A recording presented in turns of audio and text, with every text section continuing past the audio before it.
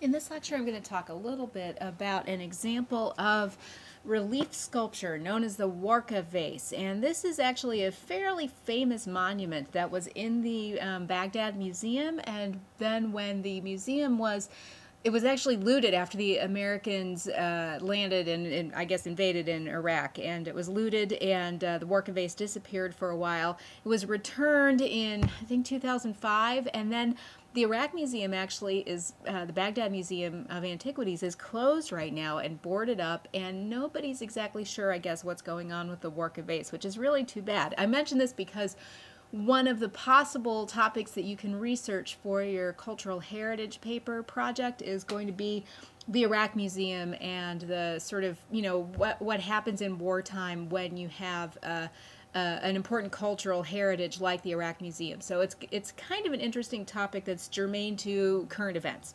Anyway, let's take a look at the Warka vase.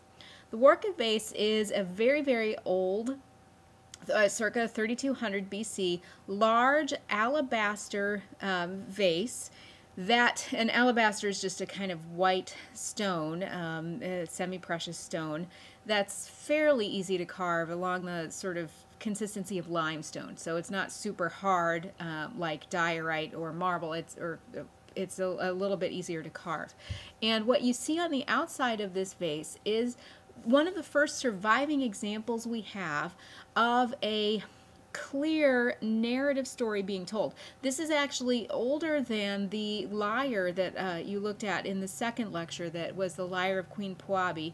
Um, this is also Sumerian. It's a bit older and it's a real early example of storytelling, of real narrative storytelling clearly being depicted on the outside uh, or on, a, on an object and it's what's called relief sculpture. We've seen relief sculpture before. If you think back to the Woman of Laussel, that is where there is uh, uh, uh, stone and the or it's where an object is carved and there's some three-dimensionality there's some raised area and some you know sunken area um, it's textured, right? But it's low relief. That is, it's very shallow, it's very flat, it's not carved all the way out through the background. Things don't project off of the surface very much. So it's what's called low relief sculpture. And that's a vocabulary term you should know and be able to identify something like this as an example of low relief sculpture.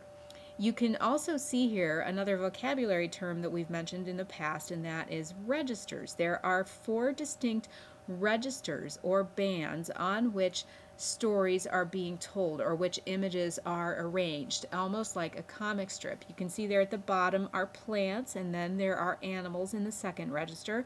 There in the middle register are people bearing baskets of gifts, and then on the top register, they are bringing those gifts to the Lady of Heaven Inanna, who um, we have, you'll run into her name a couple of times in your textbook, I think. So there is everything on this vase, all the registers are related to one another okay, clearly related to one another, where you've got the, and organized so that you've got the sort of an, plant and animal world, and then the human world, and then the divine world at the top.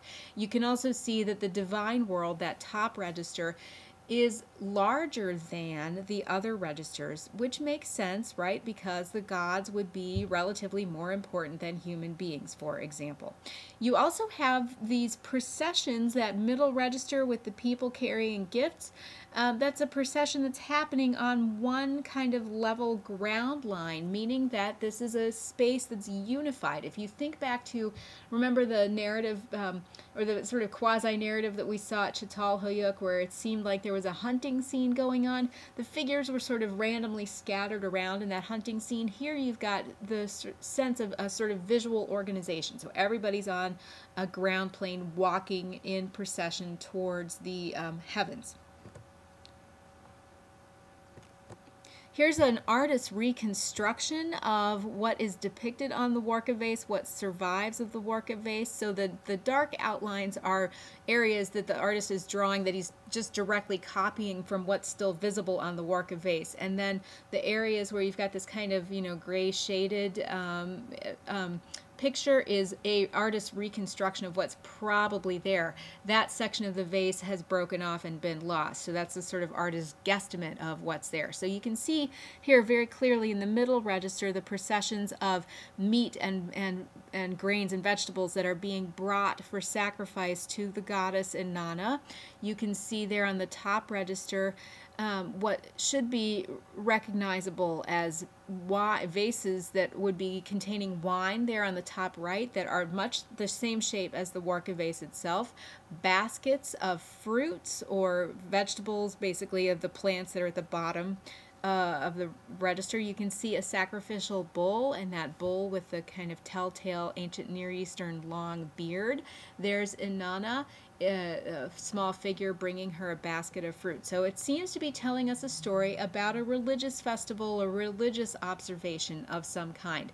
This vase from 3200 BC, give or take a few years, is one of the first surviving examples we have of such a clear narrative. And so it's considered a really, really important piece of what you might call world heritage. You know, it's a real, it's a, it's a, surviving artifact from an important, crucial point in the development of human culture. And that's why it's been so treasured and why it was such a, a scandal when it was looted from the Iraq Museum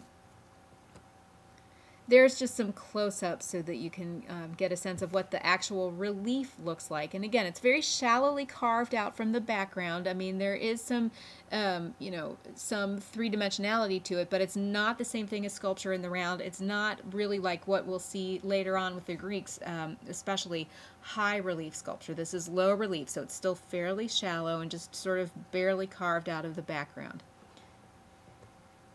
And then there's a view on the right of the Warka vase. This is actually the Warka vase from a few years, before a photo from a few years before it was looted. When it was returned back to the museum in 2005, it had been um, further damaged. And so, um, anyway, so there's a, a, on the left another artist reconstruction drawing of what the images are in the vase, and then another picture of the vase on the right. And there you can see the Warka vase. Um, after it was returned, somebody apparently some dudes just drove up to the front of the museum in an old red Toyota and they un- they just unloaded this thing and then drove off from the museum and left it there. And uh, as far as we know, it's still inside the museum. Uh, in 2006, the guy who was the director of the museum actually fled and sought asylum in Syria because he was getting death threats all the time from within Iraq. So um, it's a, still a precarious situation for that museum. But again, I wanted to show you the Warka vase, and it's one of those things that you can start thinking about, and uh, it could be a real interesting research topic for somebody looking at the kind of issues in cultural heritage in wartime and uh, and and things like that. So. Um, that's my that's my song and dance about the Warka vase, and um, we'll see you for the next lecture.